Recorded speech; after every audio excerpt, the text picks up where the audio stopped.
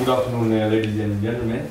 On behalf of uh, the Nangala, one of you who are present here to take part. Now, if we want to grow agriculture, if we want to expand agriculture, then we really have to think how we want to treat agriculture. Whether you want to continue to treat agriculture as a part-time business, as a leisure activity, as a business. The real meaning of business is this. That particular activity or enterprise, you do it for the market, number one. It's not for yourself. That business is for the market. Number two is that you want to make some profit. That's a key thing. And out of the profit, part of it, you'll keep it or you'll save it. The other part, you'll reinvest. You expand. That's how supermarket chains have expanded, hotels, they've expanded They're from one hotel, they've got two hotels or three hotels, four hotels. Shops, people have one shop, two shop, three shop, that's how. Right? Now, similarly, we want agriculture to be treated in the same manner. Where we want people who are working in the agriculture sector to treat farming as a business. Now, as government, we are here to assist farmers. Assist farmers so that they can do well. But government also want agriculture to expand so that it can give income to the country. It can, you know, we can um, export, we can uh, reduce imports for the benefit of the country. But for agriculture to expand, we cannot depend on part-time farmers, leisure farmers. We cannot. We cannot continue to pour money on farmers who don't, don't take agriculture as a serious activity. I want to give you some examples. Now most of you here are sugarcane farmers. Mr. Reddy, sugarcane farmer. Mr. Reddy? Okay. What's your productivity per acre? How many tons you harvest per acre? 30 to 35. Huh? 30 to 35. 30 to 35. Lagalaga, what's the average? Anyone who can give me data, what's the average uh, uh, tons per acre in Lagalaga? Um, might be 25 ton per acre average. Okay, 25 is, is not that bad. At the moment in Fiji, the average productivity is around 16 tons per acre. Now, 30 years ago, the average productivity about 30, 35 tons per acre. It started to come down slowly. Similarly, 30 years ago, unit cost was very low. To produce a ton of cane at that particular time, we to spend about 15, 16 dollars per ton, per ton of cane. Now, to produce one ton of cane, what's the cost? Anyone? okay. 80 to 35. How much? 45 to 50 dollars. Around 45 to 50. Not 80, not 90. Okay. Similarly, rice, if you look at 20 years ago, per acre, 2.5 to 3 tons per acre of rice was harvested. I'm talking about grains. Now it's about 1 ton, 1.2 tons. Productivity has gone down. Now when your unit cost goes up, when farm productivity goes down, obviously you'll not make much money.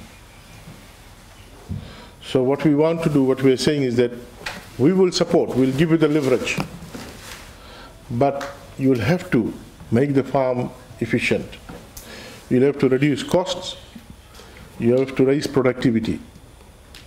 Now, we also are looking at engaging more young youths in farming, farming because agriculture sector is aging out. So we will support we have decided with the establishment of uh, Ministry of Waterways and Environment, we will take over all your drainage requirement. All your drainage requirement. We will do it. But this is 30, 40 years backlog. Cannot be done in six months or one year. Trust me. You want, some of you want us to do 30 years work in one year. It's not possible. There's a lot of limitations. Contractor, machine availability, weather condition. No, we were there at uh, Boda. They were saying, don't bring the machines now because it's too wet. Wait till the dry season.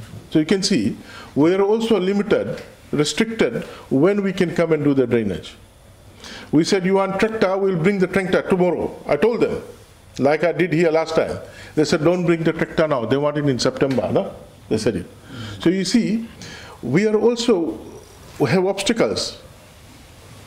So what we are saying is that all your drainage requirement will do it. The gentleman there said, before the bund was there, no water could come. Now the bund has gone down, water is coming. No, it's not only about bunding.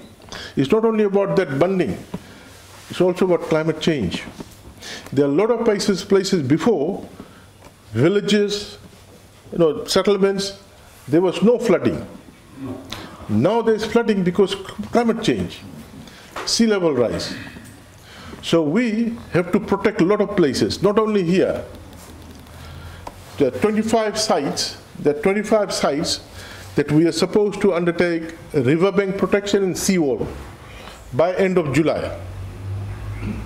Right? Then after July in the next financial year, there'll be another 25 sites. It'll cost us close to 15, 16 million dollars every financial year. We'll do it. But we are saying it's a backlog. It was, should have been done long time back. Right? But now we have decided that we have to deal with this. It's a real problem. The seawalls that are being eroded is threatening villages, communities, roads, schools, infrastructure. But these things, if it was done every year from the last 20 years, then you know we would have done it quickly now. But we have got a backlog. But what I want to tell you is that we know these things need to be done. Every year we are allocating money. And we want to assure you that all of you here, we will protect you from threat from climate change. But it will take time. It will take a little bit of time. Be rest assured. You know, for this place, our priority now is this. One, we want to ensure we do drainage work for all your. Quickly, first priority sugar area. Then outside sugar, all those drainage schemes that have got missed up, we will do it. Number two, we want to ensure that you get tractor when you need to do your plowing. Now for that, if you need tractor, and the tractor is not here, because at the moment we don't have the tractor here, but if, you, if 10 farmers need it next week, we'll get the tractor. But we can't get the tractor for one farmer. What we will do, we will make an arrangement where we hire the tractor from a private sector. Let's say, let's say Timothy has a tractor. You pay him $28, we will pay him the difference. He'll come quickly and do it. That's the way to go rather than getting the tractor for one farmer. Right, Sujan? Who will do that? So any, any one of you who really need to use, utilize tractor, we will, that's the way we will do. So that will solve the problem of getting tractor from all the way from Mandevu for one farmer. Number two, labor cost is uh, going up. You have issues of harvesting rice, etc. We will provide one, what do you call it, reaper for this area. So when your rice is grown up, but, but we want you to plant the rice that we are recommending. We are recommending the rice variety, you plant that, we will support. But if you want to plant a rice of your choice, which the reaper can't harvest, that, that's your problem. You want to uh, plant Lalka Mutka or China Mutka, then reaper may not be able to harvest, then don't complain to us because we didn't advise you to do that. Number five, we will today give you a small machine. We'll have to decide where it will be installed. So you can uh, mill your rice. So we will hand over, the, where is the machine? Right, so it's a machine here for all of you. So you can bring your own uh, paddy and you know mill it, but they will organize who will pay uh, for the electricity bill. That will be sorted out. So the machine is here. Okay. As uh, uh, Uh, uh, director said that we will get the chemicals here. You don't have to go to Labasa to collect the chemical. But again, you need to understand that we will have to ration the chemical, right? Both the chemical used for drenching of your animals, cattle and goat, as well as the chemical for weeding. Now, when we give inputs on subsidy, meaning inputs which does not reflect the true price, then what happens is that inputs get overused. And let me explain. Let's say, let's say you normal you'll do weeding. You do weeding, right? You'd go and do weeding using hoe, okay? But then we say we'll give you one gallon of weedicide, zone or Karmex for five dollars.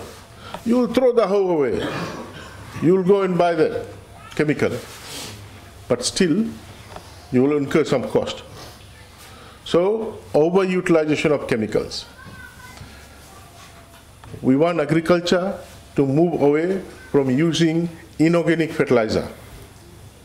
So we will not be giving major subsidies for fertilizer because then people will overuse fertilizer. We will want to provide organic fertilizer, organic manure.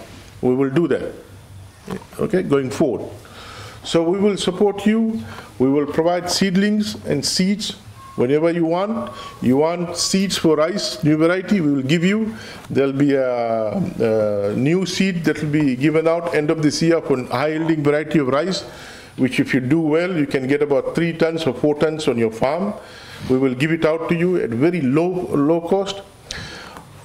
By another three, four months' time, uh, we can provide you with breeder sheep that we have given out in uh, in the in the, the Seaqaqa, Tabia, uh, area, Matiri. Those farmers, we want to give you a high-yielding sheep breed that you can use that as a breeder. We have run out of it, but we will get some from from uh, from Nadi. That's where a lot of breeders are available. Eh? We'll be giving out end of this year breeder goat, Boer goat, bigger Boer goat. Okay, again, very small price, very low cost. Okay, so that you can clean up your farm with the uh, local breed and you have this bigger one. Maybe by end of next year or so, we will start loaning out the new breed of cattle. Cattle for dairy, it will give you three times more milk than what you get normal, okay, uh, from the normal local breed. And for, uh, for beef, it will be a much, much larger carcass. Okay? So, but you will have to see who are the pe people who can take agriculture forward as a business. We are willing to expand.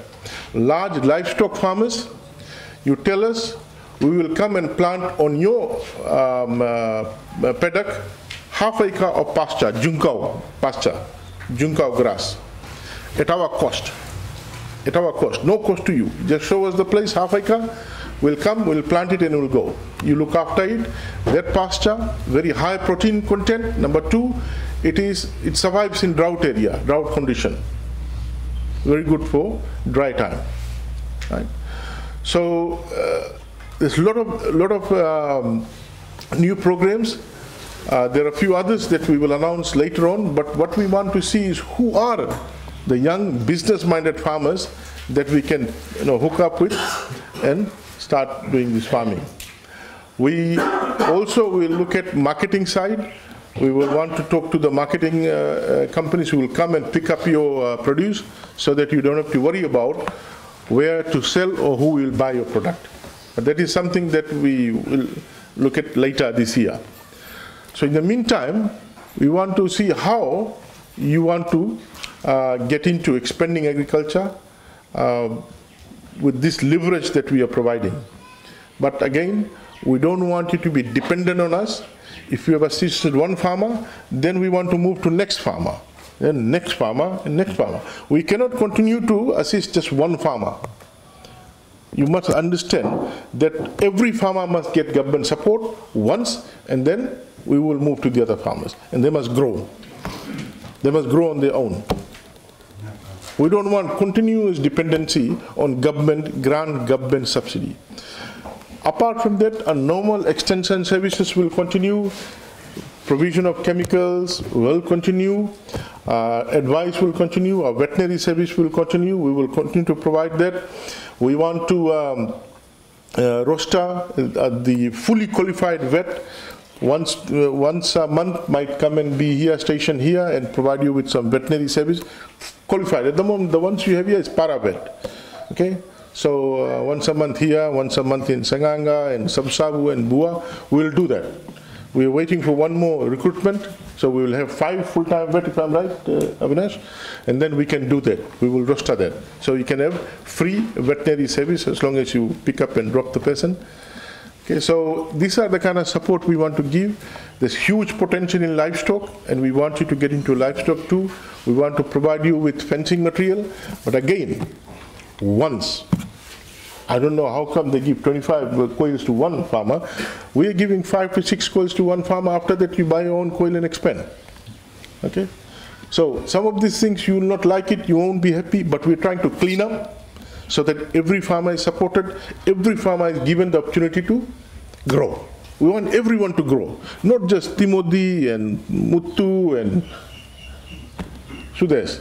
No, because Muttu knows me or Sudesh knows me or Timothy knows him. No, we want everyone to grow, everyone to get government support. But once, after that, you grow on your own, we look after the other person, your neighbor. We now go to some places we see one or two people in a village have been supported, the others haven't been supported. Just because they were not vocal, they couldn't talk to anyone, they couldn't call anyone. We don't want that to happen. We want everyone to be supported, everyone to grow, everyone to do well.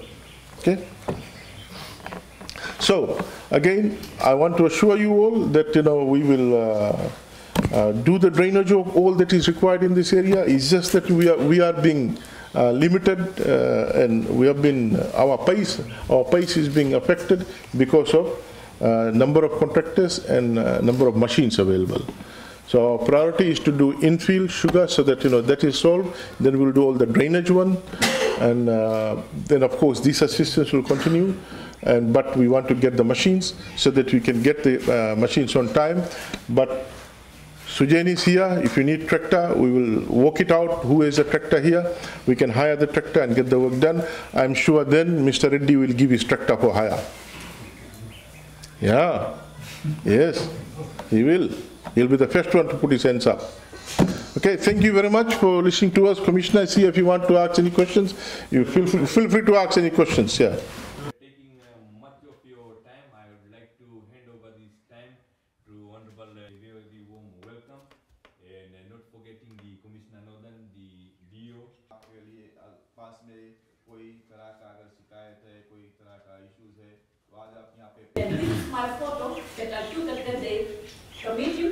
Committee and the weather courthouse. In the same road with uh, this problem has been highlighted. So, we just request if the government could help us. Kau te ure ba sina no na ba tutu na mara mo ba tutu ti mai mo. Pale tana lo tu, na daun to ti na mo. Mo to na mai eli eli ra tum bi nga ka sa undu da sa ti ure lo wali tu. The tractor will be available to use it. So I understand that it was a bit late, it was uh, not in the right time, and a lot of farmers couldn't use the tractor at that particular point in time. We're looking at changing the system, either we will have a tractor here full time or we will outsource. Dio, take it up with the RSC? Yes. Same thing applies to the other road, that, uh, that one? What, what is that road for? Not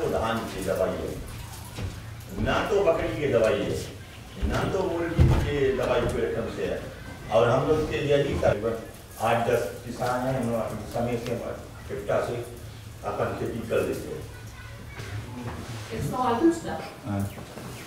Uh, agriculture sector. वो तुम्हारा क्या भाई हिंदुस्तान सब भाई है ना इस पर